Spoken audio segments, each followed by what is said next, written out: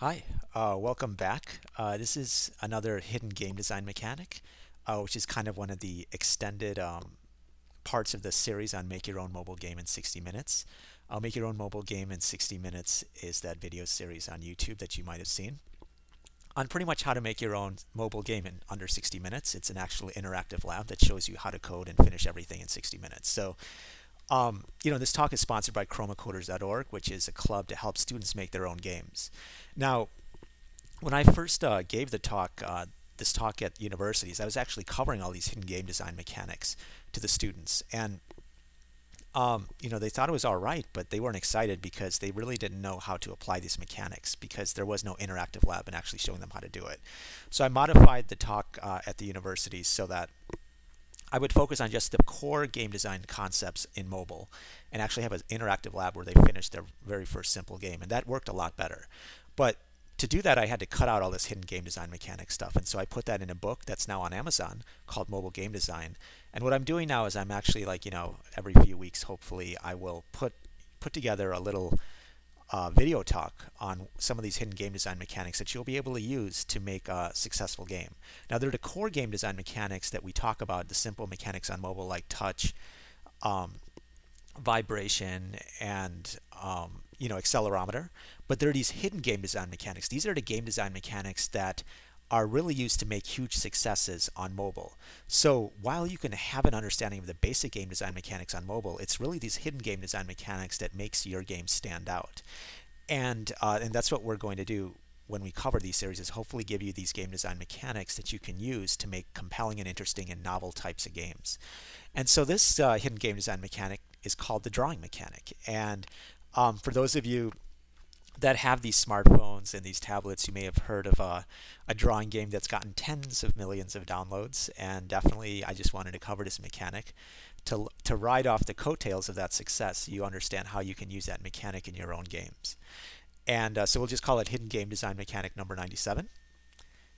And let's, okay, a second. Let's get this going. Okay, uh, as I said, it's from the mobile game design book that you can find on Amazon. Now, part of the goal of this hidden game design mechanic tutorial is actually show you how to apply these mechanics, not just talk about it, but apply it. So once again, we're going to use Corona. so if you go to anscamobile.com, uh, you know, this uses the Corona API. This is really a very powerful API that, or, or tool that allows you to make a mobile game in about, uh, you know, very quickly. And so the example we're going, when we do the coding session here, we're going to be using the Corona API or the Corona SDK to actually show off a drawing example. And what's cool about the Corona community is that, uh, first of all, it's very active, but there's an option, there's a place where there's a code repository. And this is where really nice members of the community have added code that you can use in your game. And one of those things that's, that have been added um, is kind of a drawing, uh, a little drawing module that you can use. Uh, let me see if we can find it here. uh, let's see. Okay, maybe you can do a search there. And, uh, okay, drawing undo. Okay, so if you do a search, you'll be able to find it in one of these places. But what I've done is I've actually given you a direct URL here which is developer.anscamobile.com slash code slash easy dash finger dash drawing dash undo dash functionality. Um, you can just paste that in here into your browser. And what you'll do is you'll see now uh, this really nice um, code exchange entry, which has the code to easily uh, add a drawing mechanic to your game. And so what you do is you just copy the code base right here. Okay, so you copy it. And now what we're going to do is Control C, copy. Uh, we have our own little folder. Let's make a drawing mechanic folder. And in there, make sure you make a file called main.lua. Remember that Corona, when you're using it, um, main.lua is the main file that Corona will read to, to load a project. So what we're going to do is we're going to open up a main.lua file. And what we're going to do is we're just going to paste that code that we copied and we just hit save. Control S is save. And then we go to the Corona simulator. we hit file, open project. we go to that drawing mechanic folder, we open up main.lua, and there you go. You've got a very simple drawing app. Um, and you can use this for whatever you want to use it for. Uh, very simple, uh, gets the job done. Now let's actually walk through some of the code to see what's going on. So if you go at the very bottom of the code, you'll see that uh, there's a touch event that's added to the whole screen, you know, add event listener touch, which calls the new line function. So new line function, let's go up here to new line right here. And this new line function has a mini function called draw line, right?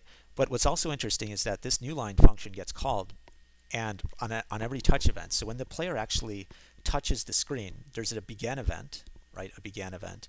And what happens there is what we do is we say, you know what? If they've began it, we're going to add the point, you know, where they've touched, and we're going to insert that into a table because we're going to store that. Because once they move around, we're going to store where they where they're actually moving around. And then what we're going to do is we're going to call that mini function called drawLine. And what drawLine will do is it'll take those two points, you know, from where they began and where they're moving around, and it'll draw a new line. You know, display.newLine is one of those Corona SDK functions that makes it really easy to draw a line on the screen. Um, and that's pretty much it. Uh, so it's very simple. And um, what we can do now is we can play around with it. So you know that line that's being drawn?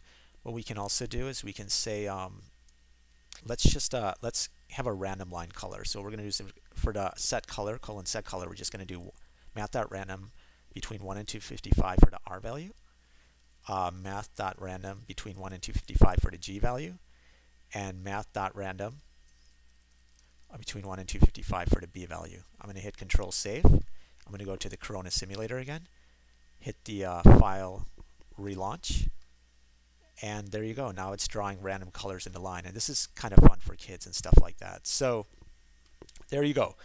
Very simple concept, uh, but it's a very fun concept for both kids and adults alike. Kids like freeform drawing, but uh, adults, you know, if you give them kind of a directed drawing, like what, uh, you know, as I kind of alluded to before, Draw Something does, which is pretty much telling people, okay, draw this specific thing, draw this um, mountain or potato chip or whatever else. That directed drawing gives adults a kind of a reason to keep drawing or a purpose or a goal, which makes it more fun for them. So, you know, feel free to figure out a way to use this mechanic uh, in your own game. Uh, thanks again. Enjoy. Uh, post comments and feedback in the uh, comment section below.